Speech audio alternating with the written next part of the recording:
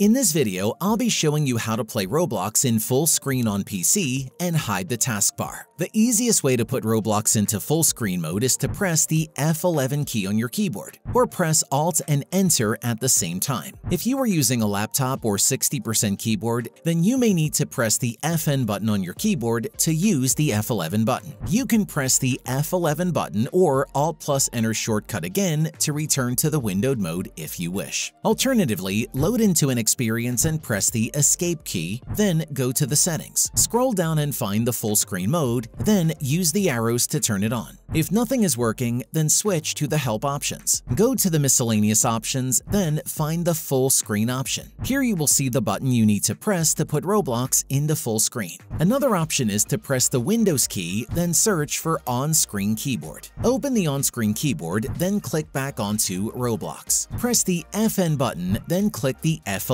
button. Close the keyboard window. If you want to go back into windowed mode, then you will need to press the Windows button on your keyboard. Then search for and open the on-screen keyboard again. Select Roblox, then press the FN key followed by F11. You now know how to play Roblox in full screen on PC. Consider leaving a like if you found the video helpful.